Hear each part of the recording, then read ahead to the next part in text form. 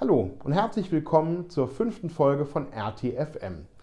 In diesem Format geht es ja darum, lesenswerte und zeitlose Bücher bzw. Fachbücher vorzustellen, mit dem Ziel, sich als Entwicklerin oder als Entwickler weiterentwickeln zu können, quasi eine allgemein bessere Entwicklerin, ein allgemein besserer Entwickler werden zu können.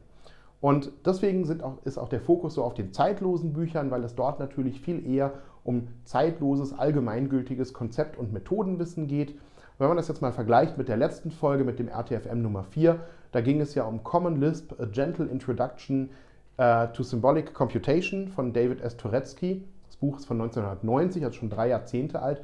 wenn man das jetzt vergleicht mit einem Buch zu einer aktuellen Sprache, in einer aktuellen Version, dann stellt man fest, dass das eine eine sehr hohe Halbwertszeit hat und das andere eben durchaus sehr schnell veralten kann. Und die Ursache ist da ganz klar, das eine Buch vermittelt Konzeptwissen, Methodenwissen, das andere vermittelt sehr kurzlebiges Technologiewissen. Und natürlich hat auch das Buch Common Lisp von David Turetsky auch Technologiewissen, also es hat auch Technologiewissen vermittelt und das veraltet natürlich auch, aber die Konzepte in diesem Buch haben halt ähm, deutlich überwogen. Und das ist genau das, was das Buch so lesenswert macht, warum es allgemein nützlich ist. Und genau in dieser Richtung gibt es noch ein Buch, das ist sogar ein relativ berühmtes Buch, sogar schon von 1979. Das wird ehrfurchtsvoll häufig so als das Wizard Book bezeichnet, weil auf dem Cover eben ein Zauberer abgebildet ist, beziehungsweise gelegentlich auch als das Purple Book.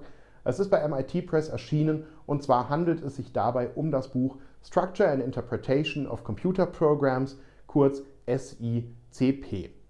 Dieses Buch ist von Hal Abelson, Gerald J. Sussman und Julie Sussman geschrieben worden und allein die Namen dieser drei Autoren bzw. der Autorin die sprechen schon Bände. Das sind also durchaus ähm, wichtige Personen oder wichtige Persönlichkeiten aus der Informatik. Das sind teilweise Professoren äh, des MIT, teilweise Mitgründer der Creative Commons Lizenzen, Mitgründer der Free Software Foundation. Äh, sie haben Scheme erfunden und so weiter und so fort, haben sich viel mit KI beschäftigt, mit KI im Einsatz bei CAD und, und, und. Und ähm, also haben eben vieles bewirkt, haben quasi vieles geprägt und es sind durchaus sehr begabte und relevante Persönlichkeiten, über deren Namen man vielleicht das ein oder andere Mal schon gestolpert ist. Worum geht es in Structure and Interpretation of Computer Programs? Die Frage zu beantworten ist tatsächlich gar nicht so einfach, weil das Buch sehr, sehr vielschichtig ist und auch die Antwort darauf sehr vielschichtig ausfallen müsste. Wenn man das Ganze relativ pragmatisch angeht, könnte man sagen, Structure and Interpretation of Computer Programs ist einfach mal eine Einführung in die Programmierung mit Scheme. Also das Buch basiert auf der Programmiersprache Scheme und es erklärt, wie man damit programmiert. Tatsächlich geht das Buch aber darüber noch sehr viel weiter hinaus. Der Schwerpunkt wird nämlich auf diverse Konzepte der Programmierung gelegt. Da kommen wir gleich noch zu. Es hat insgesamt knapp 600 Seiten. Interessant ist, dass es, obwohl es fast 600 Seiten hat, nur aus fünf Kapiteln besteht. Und diese Kapitel haben es eben durchaus auch in sich, also sie sind durchaus anspruchsvoll. Das erste Kapitel fängt dabei noch relativ harmlos an. Das legt sozusagen so die Kernthese für den Rest des Buches vor. Es sagt nämlich, in der Programmierung geht es im Wesentlichen darum, um drei Elemente, nämlich man hat kleine Bausteine und diese Bausteine sind erstmal sozusagen für sich isoliert verwendbar, die sind auch nicht allzu komplex. Das Besondere bei der Programmierung ist dann, dass man als zweiten Schritt diese Bausteine miteinander kombinieren kann und dadurch eben höhere Komplexität schaffen kann. Und im dritten Schritt, dass man dann über diese Kombination der einfachen Bausteine abstrahieren kann und damit geht das Ganze quasi wieder von vorne los, weil man dann auf diesen abstrakten Bausteinen sozusagen die wiederum mit anderen Bausteinen kombinieren kann und immer höhere Abstraktionsebenen erreichen kann. Und das ist ja etwas, gerade dieses Abstrahieren und dieses Schicht um Schicht um Schicht sozusagen bauen, das ist ja durchaus etwas, was Softwareentwicklung auszeichnet. Und das ist sozusagen mal direkt die erste Ansage in diesem Buch. Und dieses Pattern Bausteine kombinieren, abstrahieren, das zieht sich durch dieses Buch auch durch, das wiederholt sich da an verschiedenen Stellen und das wird sozusagen aus verschiedenen Perspektiven beleuchtet. Das erste Kapitel führt zunächst mal Ausdrücke ein. Interessant ist, dass es nicht mit Variablen startet, also bis Variablen mal kommen, vergeht eine ganze Zeit in diesem Buch. Es führt also Ausdrücke ein und es geht um Ausdrücke, die ausgewertet werden können. Also es geht auch nicht um Statements, es geht wirklich um Expressions und deswegen beschäftigt sich das Buch auch mit der Frage, wie geht denn überhaupt eine ähm, Programmierumgebung dabei vor, Ausdrücke auszuwerten. Das heißt, es geht um die Evaluation. Das macht man auch von Hand, quasi auf Papier, um nachzuvollziehen, Auswertungsreihenfolge und ähnliche Dinge, wie funktioniert das. Im Anschluss werden dann Bedingungen vorgestellt, damit man komplexere Ausdrücke, wo eben auch eine gewisse Logik enthalten ist, abbilden kann. Und dann kommen Funktionen. Dabei geht es allerdings ausschließlich um Pure Functions, also um Funktionen im mathematisch-funktionalen Sinne. Und diese Ausdrücke, die einfachen Ausdrücke, das sind quasi die Bausteine. Die Funktionen ist die Möglichkeit, wie man dann mehrere solcher Ausdrücke zu größeren Einheiten kombinieren kann. Natürlich geht das erste Kapitel dann bei den Funktionen noch weiter. Es geht dann um Rekursion, es geht um Iteration, es geht auch um die Frage nach der Komplexität. Wie ist Rekursion einzuordnen, wie ist Iteration einzuordnen und so weiter und so fort. Und schließlich kommt man zum Abstraktionsschritt, äh, zum Abstraktionsschritt, nämlich zu den Funktionen höherer Ordnung, dass man also Funktionen hat, die Funktionen entgegennehmen können, dass man Funktionen hat, die Funktionen zurückgeben können und dass man Funktionen im Grunde genommen wieder als Bausteine betrachten kann, die man kombinieren kann, um eben Komplexität und eben die Abstraktion zu steigern. Wenn man dieses erste Kapitel gelesen hat, oder zumindest mir ging es so, nachdem ich dieses erste Kapitel gelesen hatte, ich war ziemlich beeindruckt. Ich äh, fand das sehr, ähm, ja, sehr beeindruckend. Ein anderes Wort fällt mir dafür nicht ein. Auf der einen Seite, wie kompakt all diese Themen erklärt werden, aber wie hoch auch die äh, Informationsdichte sozusagen ist und wie verständlich das Ganze dann doch in diesem ersten Kapitel zumindest dargestellt wird. Und was da auf ungefähr 100 Seiten vermittelt wird, dafür brauchen andere Bücher locker 500 Seiten und haben bei, äh, bei weitem nicht die gleiche Qualität und die gleiche Informationsdichte. Das zweite Kapitel, da geht es dann weniger um Code. Das erste Kapitel war ja im Wesentlichen, wie schreibe ich Code. Im zweiten Kapitel geht es dann um Daten. Und der Anfang wird damit gemacht, dass ein eigener Datentyp für Brüche definiert wird und dass auf diesem Datentyp arithmetische Operationen definiert werden sollen. Diese Funktionen sind erstmal losgelöst von den Daten. Wir haben übrigens immer noch keine Variablen eingeführt. Und äh, dann wird gezeigt, wie man also mit Funktionen auf Daten arbeiten kann. Dann geht es um Listen. Das liegt ja nun bei Scheme, was ja ein Lisp-Dialekt ist. Und Lisp dreht sich ja alles um Listen. Das ist, davon, das ist daher relativ naheliegend, dass es da also um Listen geht. Damit werden dann komplexere Datenstrukturen eingeführt. Und auch hier wieder zeigt sich das Pattern. Man startet mit einfachen Bausteinen, nämlich der Cons-Zelle, die ein Paar sozusagen repräsentiert, ein Paar von Daten, kombiniert die dann, um komplexere Typen zu bauen, eben Listen oder eben noch weitere Dinge wie Tabellen und so weiter. Die Frage ist, wie kann man dann verschiedene Typen mischen? Also wenn ich jetzt so einen Typ habe für zum Beispiel äh, die Brüche, wenn ich einen Typen habe für komplexe Zahlen, wie kann ich arithmetische Operationen bauen, dass sie mit Brüchen und komplexen Zahlen gleichermaßen zurechtkommen, ohne jede beliebige Kombination, in der die vorkommen können, sozusagen einzeln ausprogrammieren zu müssen. Darüber werden dann Begriffe wie Data Directed Programming eingeführt. Es geht um Tagged Data. Es werden generische Operationen eingeführt und wie man das Ganze eben miteinander vermischen kann, um zu abstrahieren. Das heißt, auch hier, ich habe es gerade schon mal gesagt, auch hier zeigt sich wieder dieses Pattern. Wir gucken uns erst die kleinen Bausteine an, dann kombinieren wir sie und dann abstrahieren wir darüber, indem wir eben generisch werden. Das heißt, erstes Kapitel Code, zweites Kapitel Daten. Im dritten Kapitel, da kommen jetzt endlich die Variablen zum Zuge. Da wird also lokaler State eingeführt und verbunden damit, weil ich an eine Variable ja etwas zuweisen können muss, kommt die Zuweisung. Wir sind also zwei Kapitel weit gekommen, ohne uns über den Zuweisungsoperator Gedanken zu machen.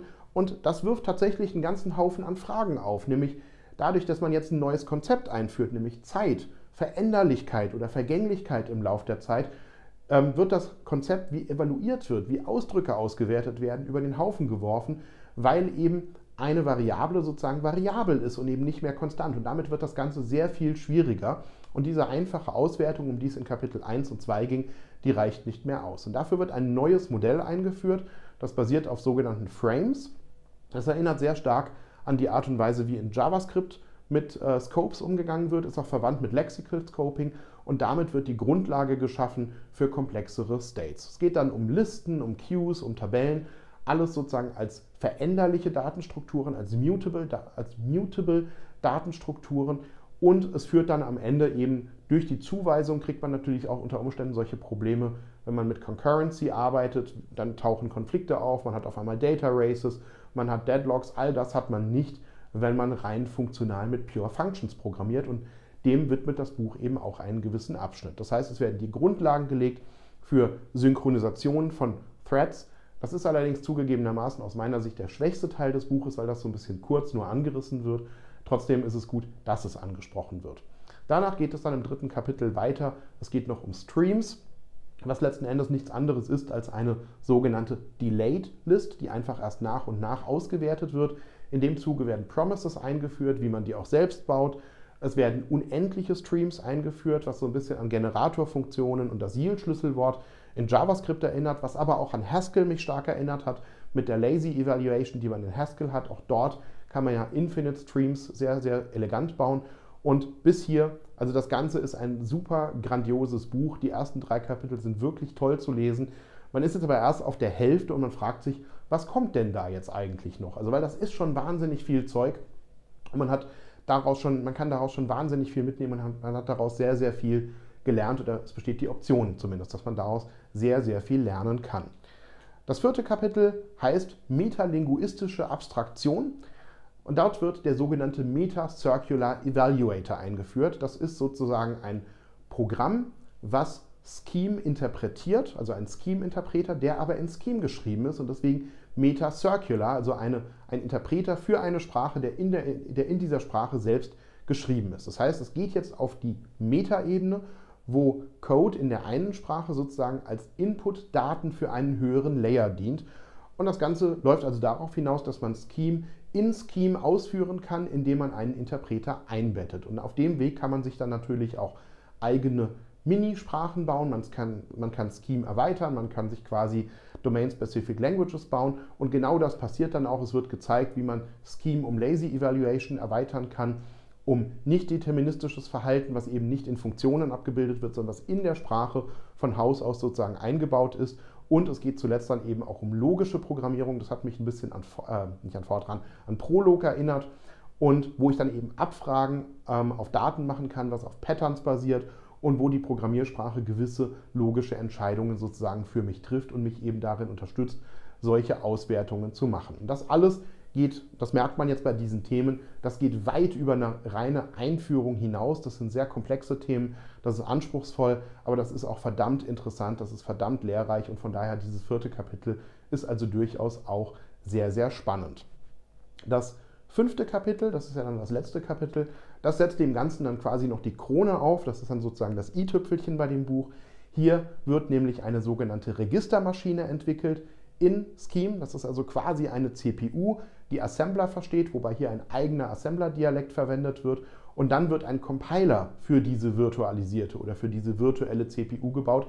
Das heißt, was man letzten Endes im fünften Kapitel macht, ist, man baut im kleinen Stil zumindest eine virtuelle Maschine und führt dann Code auf dieser virtuellen Maschine, auf dieser virtuellen CPU aus. Und das erhebt sozusagen den Interpreter aus dem Kapitel 4 zum Compiler und eben zu einer kompletten Laufzeitumgebung. Das heißt, man lernt in diesem fünften Kapitel en passant eine ganze Menge noch über Compilerbau, über die Frage, wie man virtuelle Maschinen entwickelt, wie man mit Speicherverwaltung umgeht.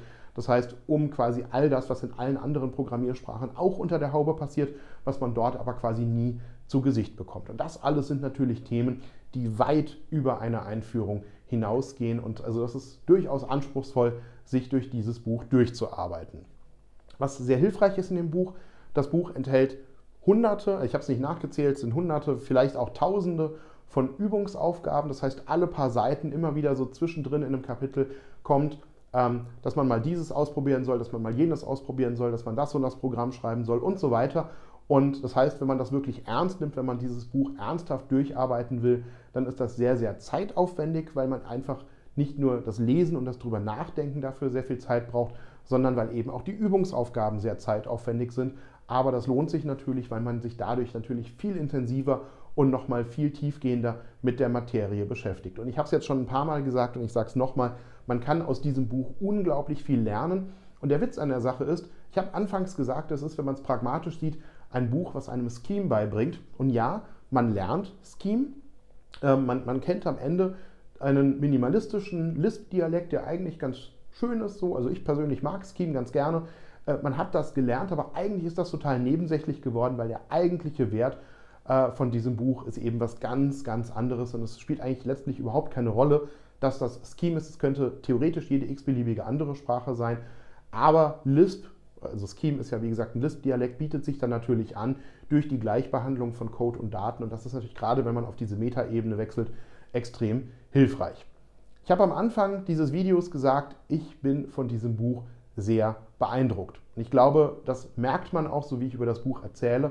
Ich kann mich da auch nur wiederholen. Structure and Interpretation of uh, Computer Programs ist ohne Übertreibung eines der besten Informatikbücher, die ich je gelesen habe. Und meiner Meinung nach sollte jede Entwicklerin, jeder Entwickler sollte dieses Buch zumindest mal angefangen haben zu lesen, im Idealfall wenigstens mal die Kapitel 1 bis 3.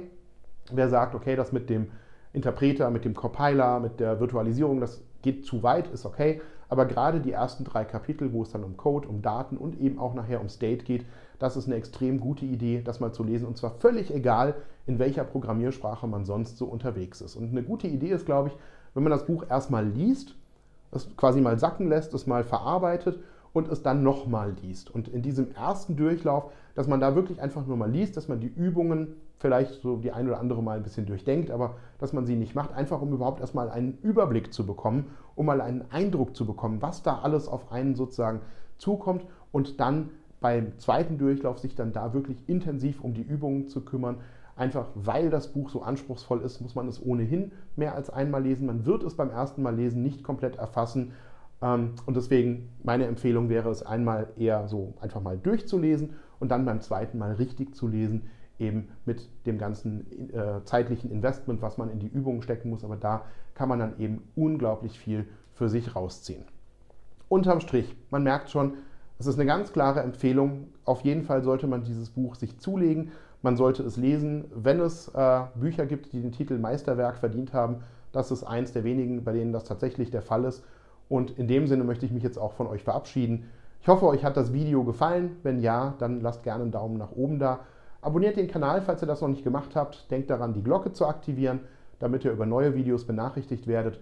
Und dann wünsche ich euch jetzt noch einen schönen Samstagabend und einen schönen Sonntagmorgen natürlich. Passt gut auf euch auf, bleibt gesund und dann sehen wir uns am Montag wieder. Ciao!